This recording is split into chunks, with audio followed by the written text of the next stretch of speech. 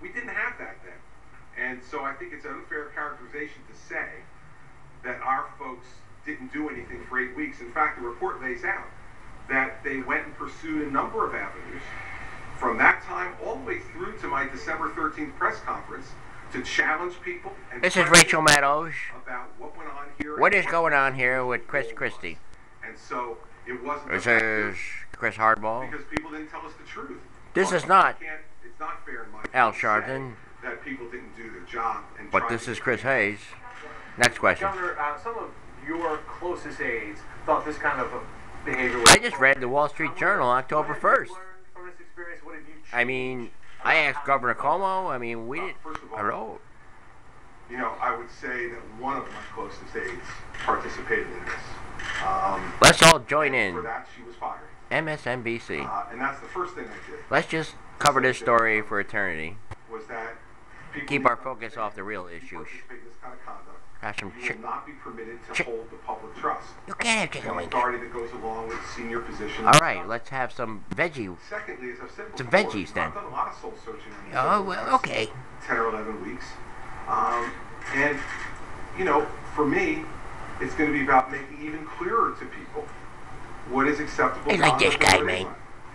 But I will say He seems like a weeder, man. I mean, he just he, anybody he just he, he stands right up to people. That something like this From New Jersey, was Twinkles. something that would be pleasing or acceptable to me.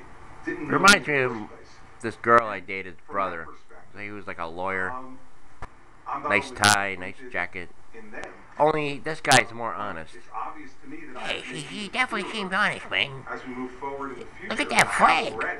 Already, The flag behind him, man. What is that? what's acceptable Exler? conduct and what is not. That's a constant challenge when you're Yes, it's large Exler. And it's one Excel- that accelerate. I did not do as well as I needed to do, obviously, with this happening. Cameraman, man. Keep keep keep keep, keep focused, focus man. on even more as we move forward. But have you? Let's move forward, man. Next question. Yesterday, Mr. Mastro informed us that uh, Shh. Attorney General Samson Quiet. uh, declined to participate in the internal investigation by your outside Mhm. counsel.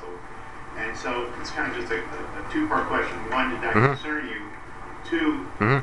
did, did uh, Attorney General Samson I know you Excelsior, did you talk with you throughout this process Mhm. to try to offer you an explanation since it was the agency that he led that was having this trouble? And when is his resignation? Go get him, Christie. Um, as I said in the statement, it's effective immediately. Go get him, Tiger. This afternoon.